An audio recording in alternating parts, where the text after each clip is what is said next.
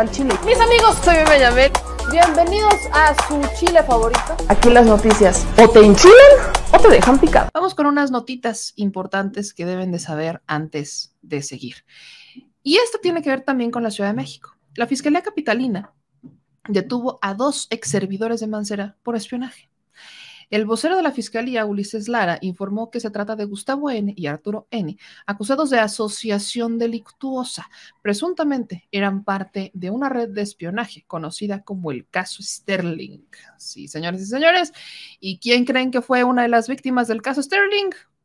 La jefa de gobierno, Claudia Sheinbaum, cuando era candidata. Así que sí, si hablamos de la operación este, Pegasus, hablemos del caso Sterling. Vamos a ver, escuchar qué es lo que dijo el vocero de la Fiscalía sobre la detención de estos funcionarios de Mancera. Les informo que detectives de la Policía de Investigación, cerca de las 18 horas de este martes, aprendieron a Gustavo N. y Arturo N., ex servidores públicos de alto nivel del gobierno de la Ciudad de México durante la administración pasada, por su probable participación en el delito de asociación delictuosa. Los detectives adscritos a la Fiscalía para la investigación de los delitos cometidos por servidores públicos ubicaron a dichas personas en la colonia Doctores, Alcaldía Cuauhtémoc, por lo que al tenerlos a la vista y tras descartar posible homonimia, les notificaron que contaban con un requerimiento judicial vigente. Con base en los protocolos de actuación, a ambas personas les fueron dados a conocer los derechos que la ley les confiere por lo que luego de cumplimentarle las órdenes de aprehensión, fueron trasladados a la Fiscalía de Investigación Estratégica Central para su certificación médica. Posteriormente fueron llevados al reclusorio preventivo varonil norte, donde quedaron a disposición del juez que los requirió y quien en las próximas horas determinará su situación jurídica. Pero ¿quiénes son Gustavo N. y Arturo N.? El primero se desempeñó como coordinador general de políticas Administración de Planeación y Organización de la entonces Procuraduría General de Justicia y el segundo como subdirector del área de la Secretaría de Gobierno. Se tiene como antecedente que, derivado de denuncias periodísticas en fecha 5 de diciembre de 2018, se inició la denuncia por la posible existencia de una casa de espionaje en la Ciudad de México ubicado en la calle Manuel Márquez Sterling, en la colonia Centro. Como resultado de las diligencias realizadas por la Fiscalía para la investigación de los delitos cometidos por servidores públicos, se obtuvieron datos de prueba que establecen que Gustavo N. y Arturo N. posiblemente tuvieron participación activa en escuchas telefónicas, intervención de telefonía celular, así como de mensajes y correos electrónicos para el seguimiento activo de personajes de la política y el deporte, así como periodistas. Hasta el momento, suman ya seis las personas aprendidas y vinculadas a proceso en el llamado caso Sterling.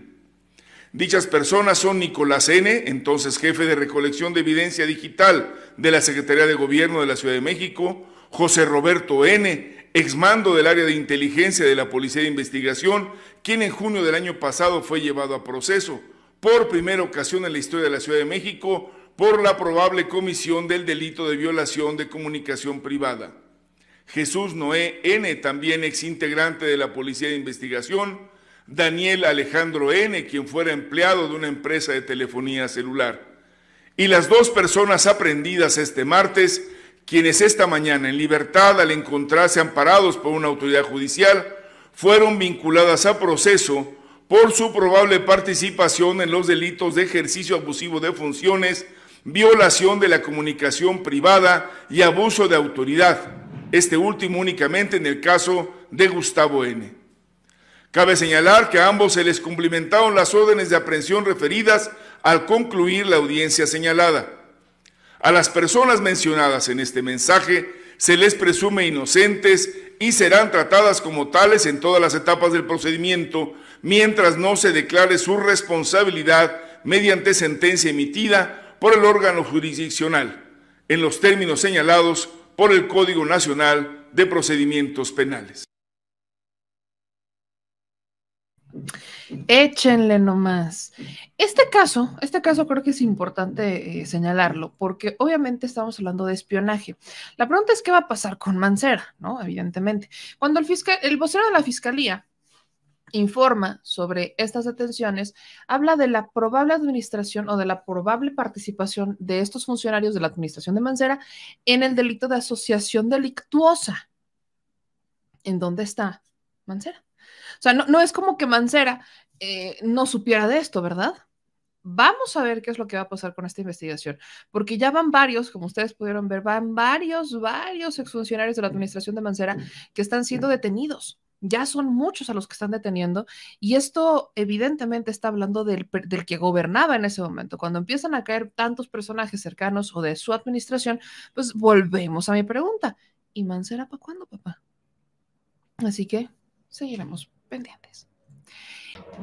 Ajá, con que aquí sigues. Si llegaste a este punto es porque te gustan estos videos, así que por favor, o al menos eso espero. Si te gustaron, porque si te gustaron. Bueno, si te gustan estos videos, si te gusta nuestro análisis sobre el detrás de la mañanera y lo que pasa en nuestro México y en el mundo, no se te olvide dejar tu like, es importante que le pongas el me gusta o no sean codos. Pero también es importante que nos ayudes a suscribirte a nuestros espacios, que nos encuentras en Facebook, Twitter, YouTube, Instagram, TikTok, en todos lados, va a estar en la sopa próximamente, hasta en las cajitas de cereales, en donde sea, tú solamente síguenos, nos encuentras como arroba memeyamelca o como memeyamel, no hay pierde, pero suscríbete para que tengas las notificaciones, para que te informemos cuando hay un nuevo video, para que también si quieres formar parte de nuestra comunidad, puedas formar parte de nuestra comunidad con contenido exclusivo. Así que no lo olvidas, no lo olvides, como dije, bueno, ustedes me entendieron. No lo olvides, suscríbete, deja tu like y nos vemos en un próximo video con el detrás de la mañanera.